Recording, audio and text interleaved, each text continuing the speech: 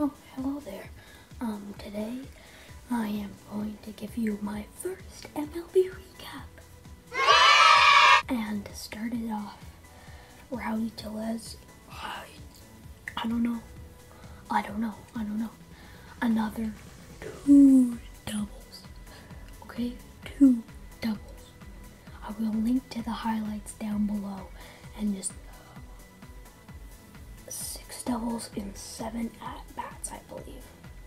Six hits. All six of them were doubles. He he beat the AL record ever. But I don't know about NL, but yeah. And they took the game by a score of three to two, all the way into eleven innings. Pillar was was Superman basically. Well, he didn't, but um, he got a walk off home run to left field. Um, yeah, I'll just show you all of the stats from every single game in the MLB.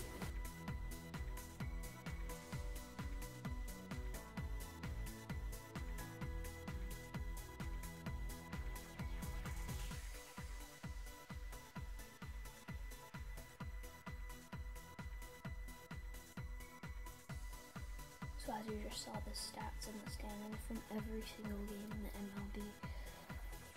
Seattle. So I'm gonna focus mainly on Seattle, the Blue Jays. Wait, what? Seattle, the Blue Jays, and the Dodgers, because those are my three favorite teams. I live in Vancouver, so of course I'm a Seattle fan. And um, Seattle um, lost to the Yankees four to nothing. It was a key game, but they couldn't pull off victory. And then the Dodgers won their game four to two against the Rockies. So I think that's good for the Rockies. I'll just show you the standings right now.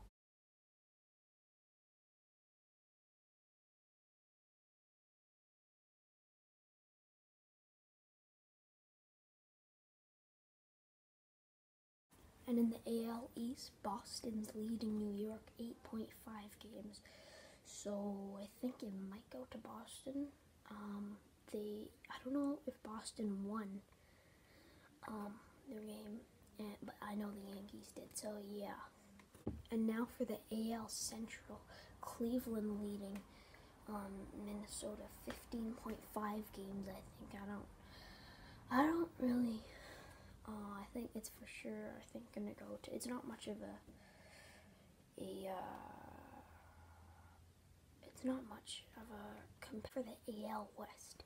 Houston leading Oakland 3.5 games, and then uh, of course uh, Seattle. I think they're 10 games back. I don't know if they're gonna win it. I think it'll be really close between Oakland and. Um, and Houston, but I think he might go to Oakland.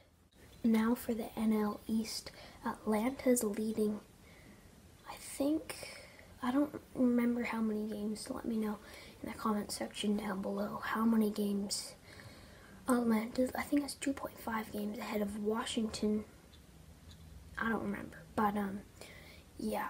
Now for the NL Central, Chicago leading four games ahead of Milwaukee, and I have a really bad memory, so I don't remember the third. I think it might be St. Louis. I think they're 8.5 games back, I believe. So yeah, now for the NL West. This is probably the tightest division.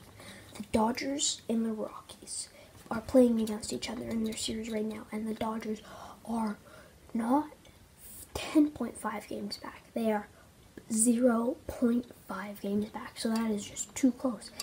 And then there's four teams in the talk. And Arizona's 1.5 games back. 1.5.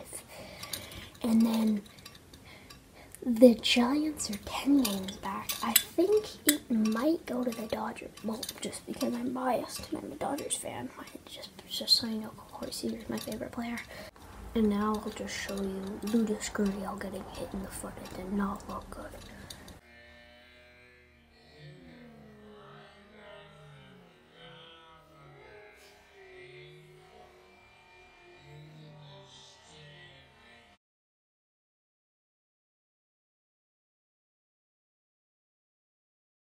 So that's gonna end this video, guys. I hope you liked it. Comment down below.